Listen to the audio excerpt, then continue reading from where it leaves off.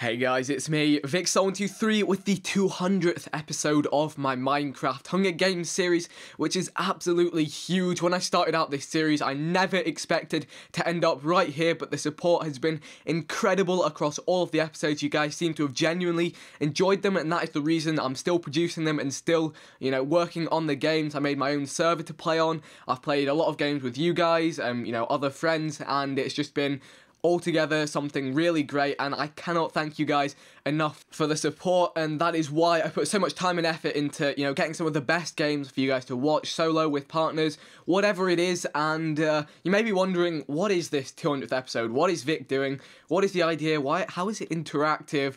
And why is this only a minute and a bit long? What have you done Vic? So what is going on here is you guys are going to have to imagine you're playing this match of Hunger Games and you're going to have to try and guess um, what I'm going to do in every situation. So whenever I get to a point where I have to make a decision, there'll be some options that will appear on screen.